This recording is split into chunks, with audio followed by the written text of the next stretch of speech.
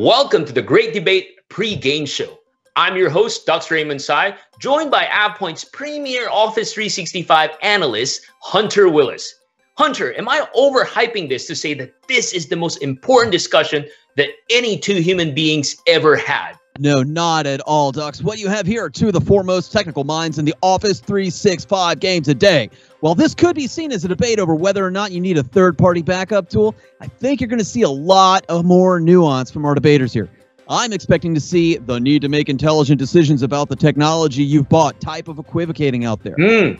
So, Hunter, let me ask you directly what are the stakes of today's debate?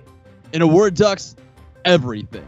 Our debaters are going to be talking about the backup strategies and data protection for Office 365. You simply don't get higher stakes than that in the Office 365 game, my friend. Hunter, what we have here are two seasoned vets. These aren't rookies that are coming in bright eyed into the spotlight. I don't expect them to see them circling each other for too long. I'm thinking there's going to be action packed from the word go. Yeah, yeah, you're absolutely right, Dux. Tony is one of the game's heavyweights. We're talking 17 time Microsoft MVP. He's most well known now as a Petri column and author of Office 365 for IT pros, but he's written 10, I mean, 10 books on Exchange alone. This is not someone who's shy with an opinion that he has. He's done some great work calling out backup vendors for their over the top claims and has probably done more work than any other one person trying to get admins ready for the paradigm shift into the cloud. This sometimes means asking hard questions like Do you really need backup? And I gotta tell you, John Hodges with AvePoint, he's no slouch either, Hunter. This is a guy who has taken the AvePoint Cloud backup solution to where it is today. He knows every ins and outs of the backup game. We're talking hundreds and thousands of customer case studies and scenarios at his fingertips. He's seen just about every move, every argument, and every type of backup needs. Yeah, yeah, that's right, Dux. And these guys have a history. Tony published a very buzzworthy article titled Questioning Six Reasons Why Backing Up Office 365 is Critical. And then you had John Hodges hitting him hmm. right back with the response blog a few days later.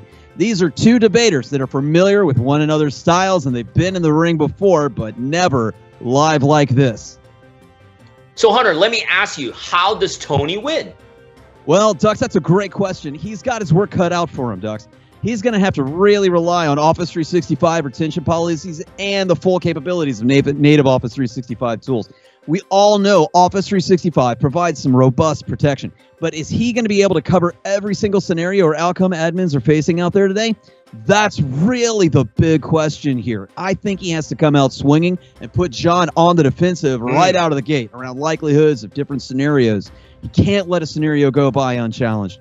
And remember here, Tony isn't trying to prove you don't need backup, just that you need to know what will work and when when it comes to administrating Office 365. And Dux, what are your thoughts, right? How is John going to pull all this off against Tony in these debates? Hunter, listen. John has the moves, but does he have the killer instinct? He's known around the office as a nice guy, and that doesn't win debates. He needs to really hammer home admin permission protection, retention errors, and all the scenarios where data is lost every single day. You have to think, he has his work cut out for him. He has to convince people to move beyond the status quo into acquiring some additional protection. It's gonna be heck of a debate, Hunter. Yeah, Dux, you know, I really feel like this is too close to call. You know, everyone's just going to have to tune in on October 7th at 11 a.m. Eastern to find out who wins. You can register at avepoint.com backslash events for the great Office 365 debate.